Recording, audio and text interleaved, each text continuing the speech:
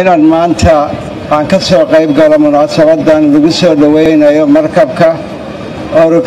riis oo ah markabka samaynaya sahminta shidaalka.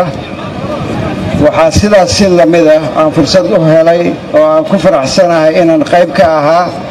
sagootintii markabkaas laga soo sagootiyey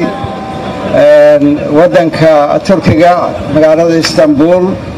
oo ay ka soo qayb galeen madaxda dowladda turkiga oo ugu horreeya erdogan oo wasiirka tamarta iyo khayraadka dabiiciga uu qayb ka ahaa.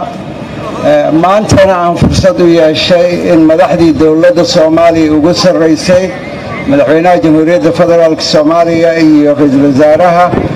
iyo xubnihii golaha wasiirada oo dhan aan loo kala harin xildhibaanada labada aqal ee baarlamaanka si buuxdo looga soo qayb galay.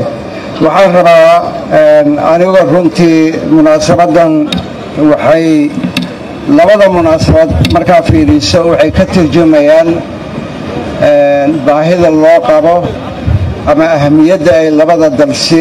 internet balas waa adeeg ay macaamiishu ka heli karaan internet faibar ah oo xawaarihiisu yahay labaatan megabytes ber second.